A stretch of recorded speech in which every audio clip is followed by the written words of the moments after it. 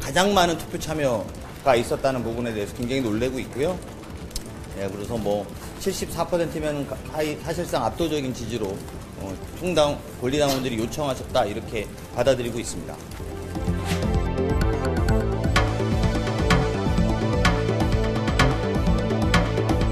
정확하게 받았어요. 78만 9,868명의 권리당원 중에서 24만 1,559명이 투표에 참석, 투표율 어, 참여했다는 거고요. 투표율은 30.0%.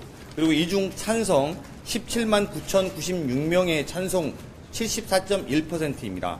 반대 6만 2,463명 25.9%의 반대로 이, 어, 민주 개, 민주 진보 개혁 진영의 비례연합 정당에 참여하는 것은 가결되었담을 가결되었음을 여러분께 보고드립니다.